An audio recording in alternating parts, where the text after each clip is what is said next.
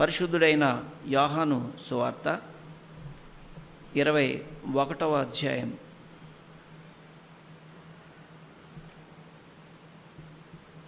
ఇరవై I mean ఇరవయో అధ్యాయం ఇరవై ఏడో వచనం. ఇరవై నుండి ఇరవై తొమ్మిది వరకు మూడు వచనాలు చదువుదాం. తరువాత తోమాను చూచి నీ వ్రేలు ఇటు చాచి నా చేతులు చూడుము. నీ చెయ్యి చాచి నా ప్రక్కలో ఉంచి అవిశ్వాసివి కాక విశ్వాసవై ఉండుమనేను అందుకు తోమ ఆయనతో నా ప్రభువా నా దేవా అనేను. యేసు నీవు నన్ను చూచి నమ్మితివి చూడక నమ్మిన వారు ధన్యులని అతనితో చెప్పాను. దేవుడు ఈ పరిశుద్ధ వాక్యం దీవించునుగాక. ఆమెన్.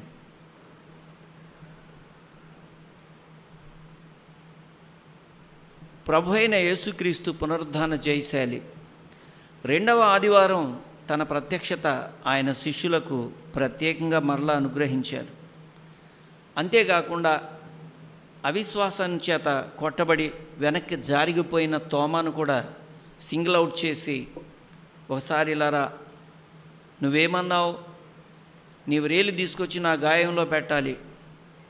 అంటే ఇవన్నీ ఏసఐ విన్నారు కదా అవి మళ్ళా ప్రస్తావించకుండా అతను ఏదైతే అడిగాడో దానికి జవాబే చెప్తున్నారు. నీ రేళ్ళు ఇటు చాచి నా చేతులు చూడు. నీ చెయ్యి చాచి నా ప్రక్కలో ఉంచి అవిశ్వాసివి కాక విశ్వాసమై ఉండమనెను.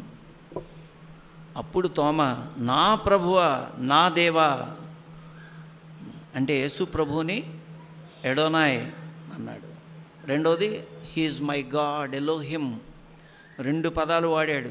ఇవి దేవునికి మాత్రమే సంబంధించిన బిరుదులు. మనం ఏసయ్య ఎవరో మనకు తెలియదు మనం విగ్రహారాధన దేశంలో ఉన్నాం. సువార్త ప్రకటన అనే పద్ధతి ద్వారా దేవుడు ఆయన యందు విశ్వసించిన వారిని ఉచితంగా రక్షించటం అద్భుతం. ఎందుకంటే వాక్యం ఏం చెప్తుందంటే ప్రత్యక్షంగా దేవుడు ప్రత్యక్షమైనటువంటి దినాలలో కన్నులారా చూశారు. చూసిన వాళ్ళందరూ యేసుప్రభుని దేవుడు అనుకోలేదు. అది కనబడితే నేను నమ్ముతాను అనేది అంత కరెక్ట్ కాదు. ఆయన సంపూర్ణమైన మహిమతో మనకు ప్రత్యక్షమైన చూసే కన్ను మనకు లేదు. ఆయన పాక్షికంగా తన మహిమను బాగా మరుగు చేసుకుని శరీరంలో ఒకసారి ప్రత్యక్షమైన ఆయన ప్రక్కే నడుస్తున్నారు ఆయన మాట వింటున్నారు ఆయన చూస్తూనే ఉన్నారు కానీ ఆయన దేవుడని కొన్ని కోట్ల మంది అంగీకరించలేదు.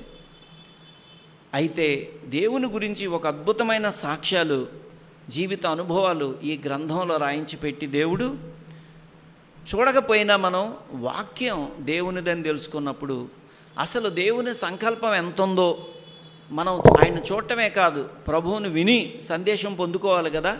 ఆయన మాట్లాడిన మాటలు అపోస్తుల యొక్క వ్యాఖ్యానాలు ఐ విట్నెస్ అకౌంట్స్ అన్నీ దైవ గ్రంథంలో పెట్టి దీని ద్వారా అతి సులువుగా మనం అజ్ఞాతంలోకి పోయి ప్రార్థన చేసి దేవా ప్రత్యక్షం కాని సాధు సుందర్ సింగ్ లాగా అడగక్కర్లేకుండా బైబిల్ చదివి యేసు ప్రభుని తెలుసుకోవడానికి అవకాశం ఇచ్చారు. మనమందరం అలాంటి వాళ్ళమే.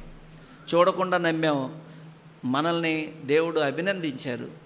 వ్రేళ్ళు పెట్టి అన్నీ మనందరి పక్షంగా చూశాడు. చూసిన ఆయన్నే విమర్శించక్కర్లా. ఎందుకంటే ఆయన మనందరికంటే ముందు అనుమానాలు ఆయనకే వచ్చాయి కాబట్టి ఇక ఎవరికి రావక్కర్లా. చాలా దిట్టమైన అనుమానాలు వచ్చినాయి. అనుమానాలని నివృత్తి అయిపోయాయి. ఆయన సజీవుడు అని తెలుసుకుని సాక్ష్యం ఇచ్చాడు కాబట్టి అవి దైవ గ్రంథంలో రాయబడ్డాయి. తద్వారా ఆ సాక్ష్యాలు విని సువార్త మనం విశ్వసించి రక్షింపబడ్డాం.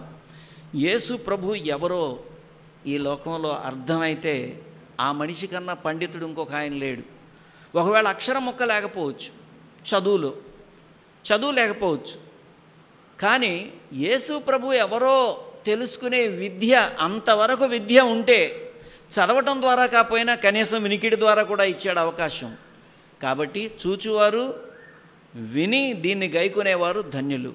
కాబట్టి యేసు ప్రభు మనకి ప్రత్యక్షమయ్యారు. లేఖన ప్రత్యక్షత. ఆ ప్రభువును మనం కూడా అయ్యా నీవు పునరుద్ధాన జయశాలి నాయన నీకు ఎంతో వందనాలని హృదయపూర్వకంగా ఆరాధిద్దాం.